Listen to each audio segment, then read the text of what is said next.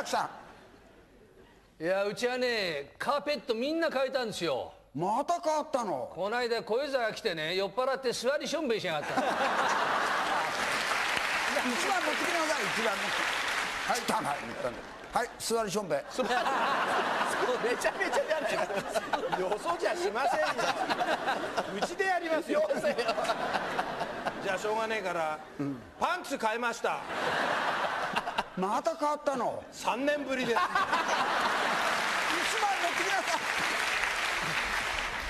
あのねパンツだのケツから離れてくるよ あるんだからしょうがない。しょうがないったってんの